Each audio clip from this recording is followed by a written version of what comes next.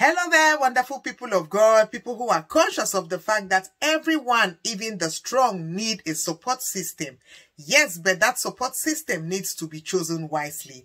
Yes, that's why Proverbs 13 verse 20 makes it clear that we should choose our friends carefully because bad friends will destroy us while good companions will bring out the best in us. Hallelujah. Warm welcome to your gospel encouragement program, Meaningful Few Minutes with Mummy Ritz, where we use biblical tidbits to encourage ourselves amidst daily discouragement.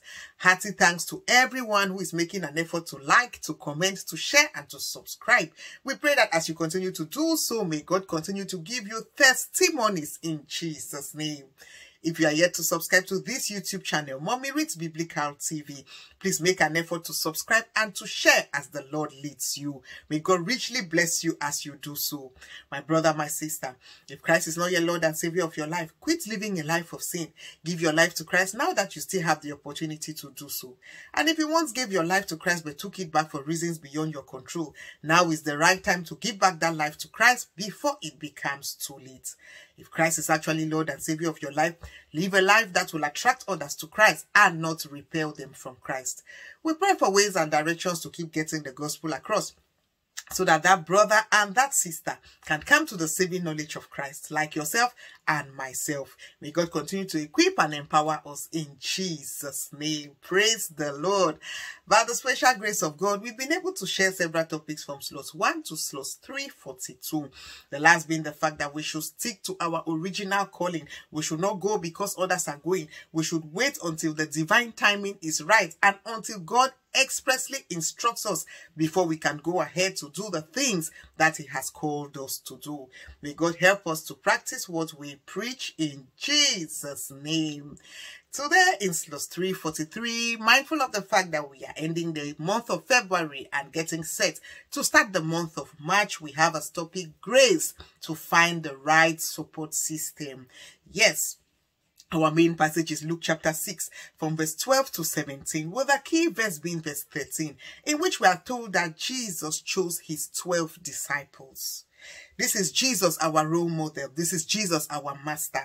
You realize that even he himself needed a support system. He chose 12 people to work with him. And even amongst the 12, he had three which were who were really, really close to him. Three whom we can call his inner caucus, Peter, James, and John. And then in addition to these 12, of course, he had many other disciples. But these 12 were his closest allies. They were his closest support system. A support system is that person who can help you morally, spiritually, financially, physically, and otherwise. And in order for us to get the right support system, beloved in the Lord, there are things that we must take into consideration. First and foremost, we must ask. Sometimes we just think that other people will see our need and understand the things that we are going through. Matthew 7, 7 says that we should ask. That is why even Jesus, before choosing his 12 in verse 13, in the whole of verse 12, he realized that he spent the whole night on the mountain praying to make sure that he does not make a mistake as far as the choice of his support system was concerned. You realize that we also need to be humble some of us are too full of ourselves. We are too proud. We don't want to, you know, go down and ask for the people who are able to help us. We think that, you know, because of our status quo, because of our this and our that, we are too big to humble ourselves to ask for those who can effectively help us. Another thing that we need to consider, in addition to being humble, we need to be discerning. First Samuel 16 verse 7 says that appearances are deceptive. So we should not be the kind of people who are only moved by physical appearances. We should be discerning enough. We should do what Jesus did. We should pass the people whom we want to ask for help through the scan of prayer so that we will be able to know the people we should associate with and the people we should dissociate from. In addition to that, we need to be patient. Some of our support system of course they are not angels. They are human beings with their own difficulties with their own challenges and with their own hiccups. And so if we focus only on their weaknesses if we are not patient with them if we don't show self-control as far as our destiny helpers our support system is concerned we might just miss the mark. If we focus too much on their weaknesses we might be blinded to the positive side and to the things that the lord wants to use them to do in our lives. Hence the need for us to be patient with one another. We also need to be people who don't assume. Most times we think that because we are close to this person, or oh, this person goes to the same church with me, this person is a family member, this person is a classmate, is a colleague, has been a friend for a long time, that is definitely the support system. Sometimes that person could be the support system, but sometimes God might just be willing and able and ready to use total strangers to help you scale through that difficulty. And so we should not assume that because of longevity. We should not assume that because of blood ties. We should not assume that because of this and other and that other human parameter. That person whom we have before us is definitely our support system or is definitely our destiny helper. Sometimes the members of our household might just constitute the leaders of the camps of the enemy. It is not foreigners or strangers who betray Joseph. It is Joseph's blood brothers who betray him. It is not a foreigner who kills Abel. It is his blood brother Cain who kills him. And so we should be worried. We should be careful how we choose our support system. And you realize that our support systems can come in a way that we least expect. Some of us, the members of our support system, will come from family. Look at the example in Exodus chapter 7 from verse 1 to 2. Moses is afraid. He has given all the excuses that he has given. But it is actually because he is afraid and doesn't want to go on this mission.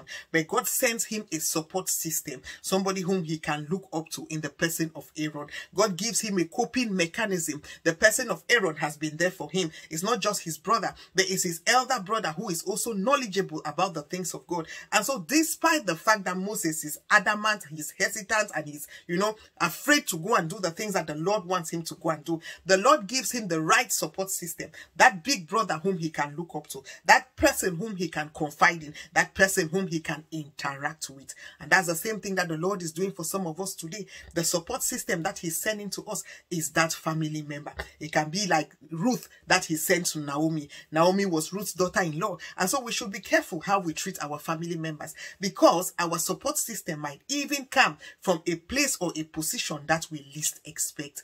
Even in the family, you look at the, the likes of Jethro and Moses in Exodus chapter 18 from verse 1 downwards. You realize that this is a father-in-law who is traveling all the way to come and give Moses advice that anointing cannot teach him. And it constitutes relevant advice that is very helpful to Moses. You look at even among spouses, Aquila and Priscilla, this is a couple and they are doing their utmost to get the gospel across, to, to work for the furtherance of the kingdom of God. And so that is the reason why we need to go to God in the place of prayer to be able to know the people whom he has destined to be our support system. Because if we miss it, if we get it wrong, we will just miss the assignment that the Lord has committed into our hands. Hence the need for us not to be sentimental, not to be emotional, and not to speak English as far as the choice of our support system is concerned. Yes, because our support system constitutes the people who know us detailing, who see our weaknesses, who see our secrets. It is important for us to know that our support system can also come from the church. Yes, you look at the example of Paul and Timothy. First Timothy 1 verse 18.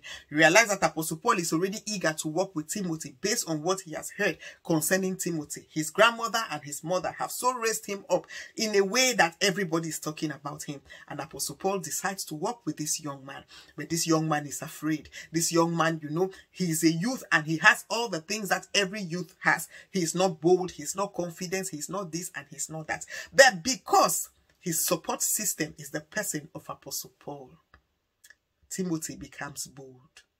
Timothy becomes courageous.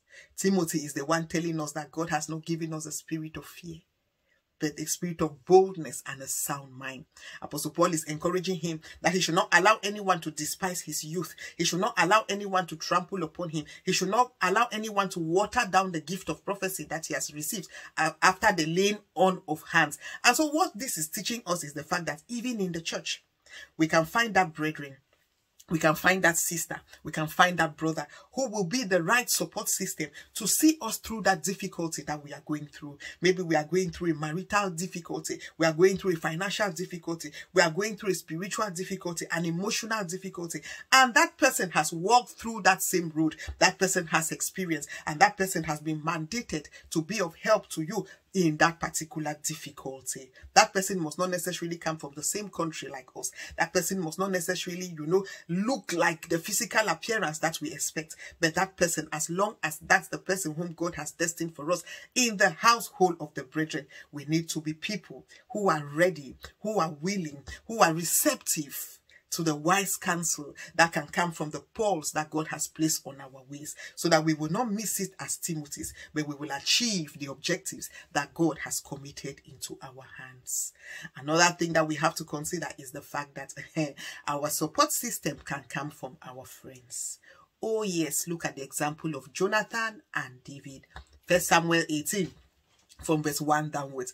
You realize that this friendship is not based on materialistic interest. It's not based on what I stand to gain and what I stand to lose. These people are not friends from anywhere. They are people who are normally supposed to be enemies. Because as a matter of fact, they are rivals. Jonathan is the rightful heir to the throne, but David is the anointed heir to the throne. And so Jonathan has every right to fight David, and David has every right to despise Jonathan. But their friendship is made in heaven. These are two friends who become brothers in a sense. And you realize that they constitute each other's support system. In our world today, you realize that there are many things that are going wrong as far as friendship is concerned because the basis of our friendship is not godly. That's why you can hear that a friend has conveniently poisoned another friend. You can hear that a friend, in quotes, has conveniently, you know, destroyed and brought down the other friend without even thinking twice because the, the, the parameters surrounding our friendships are what we to gain in the here and now. David and Jonathan don't calculate. They don't turn on the calculator before they start their friendship. They start their friendship in circumstances that are not even favorable. But because it is from their heart, you realize that Jonathan is a support system to David. And David is also a support system to Jonathan. That's why even after Jonathan dies, David is eager. He's in a haste to look for Mephibosheth to repay the kindness that Jonathan showed him while he was alive. How many of us as friends today can, can actually be a good support system even to our friends while they are, are alive? Talk less of when they are dead. Can we be, be compassionate, compassionate enough to the, the, the, children, to the siblings, to the parents, to the relatives that they have left behind? Even our Master Jesus, he understands this principle. That is why on the cross, he is telling his mother, Mother, behold your son. And he's talking about John.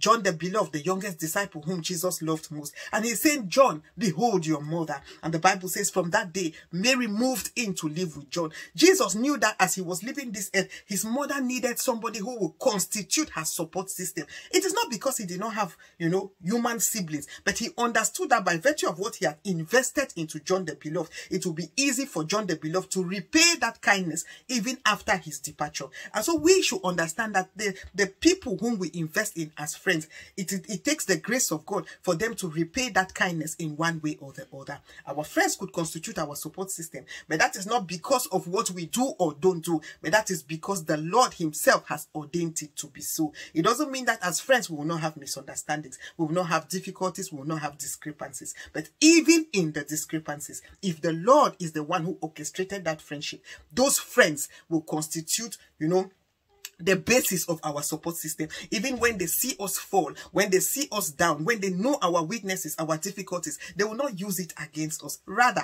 they will use it to build us and make us a better version of ourselves. You realize that our support system can come from complete strangers. People whom we don't know. People whom we have hardly met people whom we are not familiar with. Look at the example of the man at the beautiful gate in Acts chapter 3 from verse 1 downwards. You know, this man is at his office. He's at his duty post. The Bible says that he was always led there because he's lame, he's crippled from birth. He's always begging people to take him there where he can beg for alms. On this fateful day, he sees two strangers, Peter and John. He does not bother about their physical appearance. He goes ahead to ask them for alms. This man is, is, is willing enough to ask even from strangers. Sometimes when we are people who are sensitive in the spirit, the people who are around us as strangers might just be the ones whom God has destined to take us to the next level. And that's why Peter and John answer him. They say, silver and gold we don't have, but what we have we'll give to you.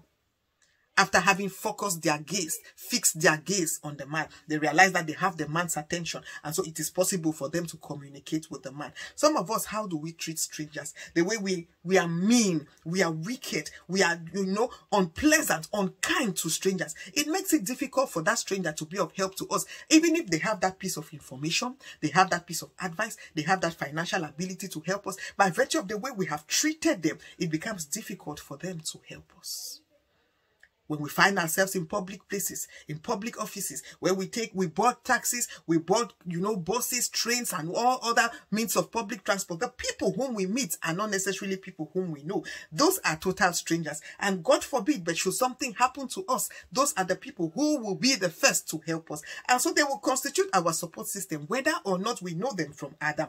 Hence, the need for us to be kind to the people we meet. Some of us, we bought taxis and we are so unpleasant. We are so rude. We bought trains. We bought buses. We make as if we are the assistant Holy Spirit. And then imagine that something happens to you. Do we think that those people will be eager enough to as much as lift a finger to help us? Our support system, like we have said, can be strangers that is why we need to be kind in the way we treat even the people whom we don't know. We need to be discerning to know how to react and interact with the people around us so that we don't end up, you know, helping the people who are on the devil's assignment and running away from the people who are on a divine assignment. Yes, of course, some of our support systems can come from the people who are our superiors, people who are higher than us as far as hierarchy is concerned. We look at the story in Judges chapter 4, where they are telling us the story of the judge called Deborah. You realize that this woman, though she's a woman, the captain of the army is dependent on her. He's telling her that I will only go for battle if you come along with me. It is not because Deborah is going to fight the battle. It is not because he does not, you know, have the skills to fight as a, a trained soldier, as the captain. But it is because he knows that this support system is the person who hears from God, is the person who is living right with God. And so if this person is amongst the battle team, they are sure to get the victory. He has a coping mechanism. He has, he has a coping strategy that is able to make him more confident in the battle. Deborah does not even go for battle as a matter of fact, she just follows them just because she wants that other person to feel okay, to feel confident in their skin. That person who is your boss, who might not be, you know, as intellectually savvy as yourself, as long as that person is your boss, that person might just constitute your support system. How do we treat them? Do we minimize them? Do we treat them as if, you know, because we are more educated, we are more literate, we are more learned than them, we now know more than them. As long as they are our bosses, beloved in the Lord, they might constitute a part of our financial support system, a part of the support system that God has destined for us. You look at even the example of the fact that some of our support system could be people who are younger than us who can be our staff members. Hence the need for us, even as bosses, to treat the people who we have as subordinates right. The example of Captain Naaman, 2 Kings chapter 5 from verse 1 downwards. He is helped by a slave girl whose name is not even mentioned. You realize that if this man and his wife had maltreated this woman, they would have missed the destination that would have led them to the, the miracle that they had been waiting for a long time. This girl had the key to the place, to the door that, you know, Captain Naaman had, had had no idea of after having knocked on several doors fruitlessly. This girl had the key to the right door. And so if they had maltreated her of course they would have missed it big time. And that is how it should be even in our community today. That gate man that house help that person who is your staff your member of staff how do you treat them? Even as pastors church leaders how do you treat that brethren? How do you treat that brother and that sister who does not look like anything to write home about? Do you suppress them? Do you subdue them? Do we oppress them because we think that we're in position of hierarchy Respect is reciprocal. In as much as our subordinates are supposed to respect us because we could constitute part of their destiny helpers, part of their support system. We too, the bosses, are supposed to reciprocate the respect to our subordinates because they too can constitute part of our support system. And so, beloved in the Lord, we should remember that instead of assuming, instead of becoming proud, instead of becoming conceited and full of ourselves, we should be able to prayerfully ask God to show us who our support system is, to work with them despite their weaknesses, so that we will get the thing that the Lord has destined for us. Yes, because Proverbs 27 17 makes it clear that iron sharpens iron. We need the other people in the support system to get to the place that the Lord has destined for us. And that explains why if Christ is not your Lord and Savior of your life, just bow your head and say, Lord Jesus, come into my life, wash me with the blood of the Lamb, give me the power to live right and to hate sin. Behold, you'll be getting it right before it becomes too late. Remember that the Bible is the road, Jesus the code, sin the obstacle, and heaven the destination. Shalom, good people of God.